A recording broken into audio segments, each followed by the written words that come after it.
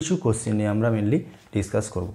So আমাদের first question হলো in a gases the flow of current is due to option A electron only positive ion only electrons and positive ion only electrons positive ion and negative ion only so here is a four options so answer কি হবে?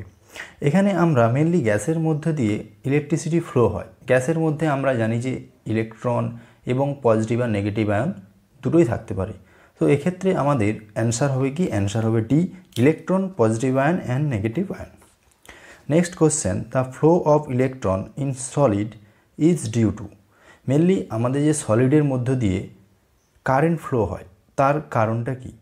Option A electrons option B electrons and ions option C atoms option D neutron কোনো কন্ডাক্টরের মধ্য দিয়ে electricity flow হয় কারণ কারণ আমরা জানি যে কোনো কন্ডাক্টরের মধ্য দিয়ে ইলেকট্রিসিটি ফ্লো হয় due to the free electron so এক্ষেত্রে যত নাম্বার অফ ফ্রি ইলেকট্রন থাকবে, তো ইলেকট্রিসিটি ভালো ফ্লো হবে এবং কন্ডাক্টরটা গুড কন্ডাক্টর হয়। সো এক্ষেত্রে অ্যান্সার কী হবে? অ্যান্সার হবে অবশ্যই electron next the minimum requirement for causing flow of current আর আমাদের যে মিনিমাম রিকোয়ারমেন্ট রয়েছে কারেন্ট ফ্লোর জন্য, সেটা কি কি? তো এখানে অপশান রয়েছে voltage source a resistor and switch a voltage source and a conductor a power source and bulb a voltage source a conductor and ammeter and a switch so এখানে মেনলি আমাদের যে কারেন্ট ফ্লো হওয়ার জন্য আমরা কি জানি current সোর্সের জন্য অবশ্যই একটা সোর্স লাগবে এবং কারেন্টটা যার মধ্যে ফ্লো হবে। সো কি লাগবে? তার জন্য একটা কন্ডাক্টার লাগবে। সো ইলেকট্রিসিটি ফ্লোর জন্য মেনলি দুটো কম্পোনেন্ট ইম্পর্টেন্ট সেটা হচ্ছে কি, একটা হচ্ছে voltage source and a conductor or a source or a conductor here option B the answer so আমরা নেক্সট কোশ্চিন নিয়ে ডিসকাস করব। নেক্সট কোশ্চিন খুবই important question an instrument which detects electric current is known as একটা instrument যেটা electric কারেন্টকে detect করে। তার অপশানগুলো রয়েছে voltmeter rheostat wattmeter galvanometer. First আমরা জানব যে ভোল্টমিটার ভোল্টমিটার মেনলি কি ডিটেক্ট করে? ভোল্টমিটার ভোল্টেজ মেজার করা হয় এবং সেকেন্ড রিওস্টেট। রিওস্টেট যে ভেরিয়েবল রেজিস্ট্যান্স সো এটা কারেন্ট কখনোই মেজার করতে পারবে না। থার্ড রয়েছে ওয়াট মিটার ওয়াট মিটার দিয়ে আমরা কী মেজার করি? ওয়াট মিটার দিয়ে আমরা মেনলি মেজার করি পাওয়ার এবং নেক্সট রয়েছে গ্যালভোনোমিটার।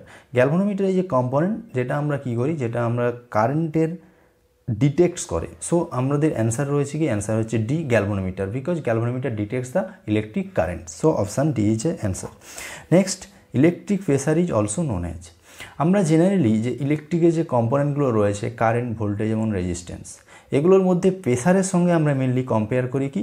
পোটেন্সিয়াল ডিফারেন্স বা ভোল্টেজ তো এখানে অপশান রয়েছে কি? অপশান রয়েছে রেজিস্ট্যান্স পাওয়ার ভোল্টেজ এবং এনার্জি সো অ্যান্সার হবে কি? এক্ষেত্রে হবে ভোল্টেজ সো আমরা নেক্সট কোশ্চিনে ডিসকাস করব। নেক্সট কোশ্চিন খুবই important which of the following ampere second could be the unit এখানে অ্যাম্পিয়ার সেকেন্ডের সঙ্গে কি? কার যতগুলো ইউনিট রয়েছে, তার সঙ্গে কোন ইউনিটটি ম্যাচ করছে?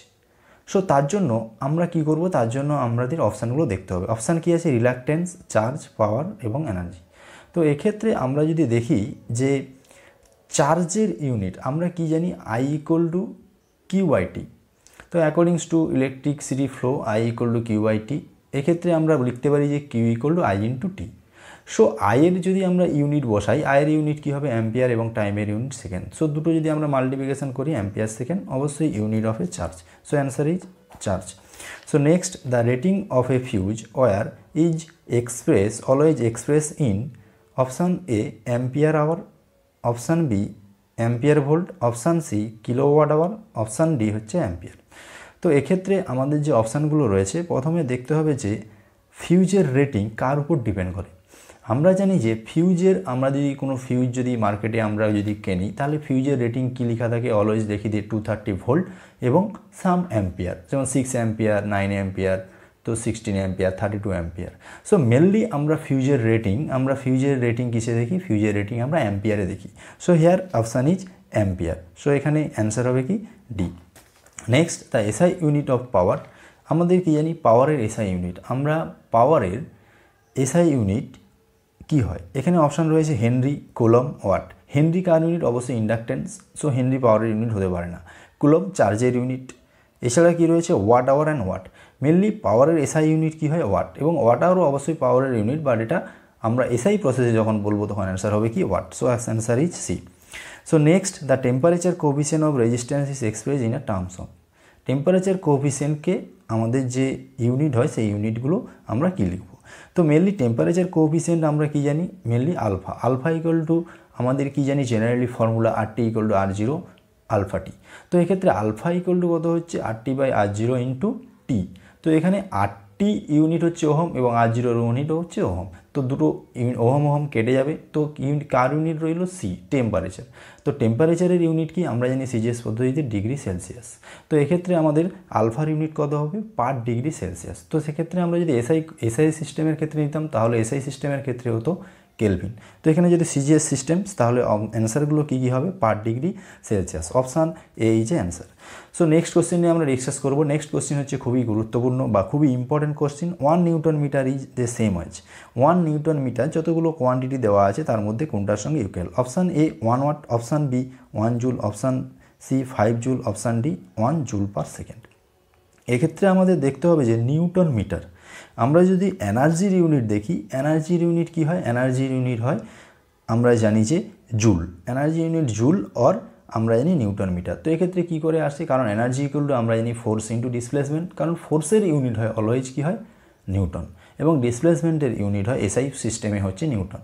এই সেকেন্ড সো আমরা এক্ষেত্রে দেখছি যে এনার্জির ইউনিট কী হয়? এনার্জির ইউনিট হচ্ছে ফোর্স ইন্টু ডিসপ্লেসমেন্ট তো ফোর্সের ইউনিট হচ্ছে আমরা দেখছি নিউটন এবং ডিসপ্লেসমেন্টের ইউনিট কি হচ্ছে? অবশ্যই ডিসপ্লেসমেন্টের ইউনিট হয় মিটার। তো এক্ষেত্রে আমরা দেখছি যে নিউটন মিটার অবভিয়াসলি জুলের সঙ্গে equal so here answer is B one joule so friends আমার এই ভিডিওটি যদি ভালো লাগে, অবশ্যই আমার চ্যানেলটি লাইক শেয়ার করবে এবং সাবস্ক্রাইব করবে। আমার এই ভিডিওটি দেখার জন্য অসংখ্য ধন্যবাদ।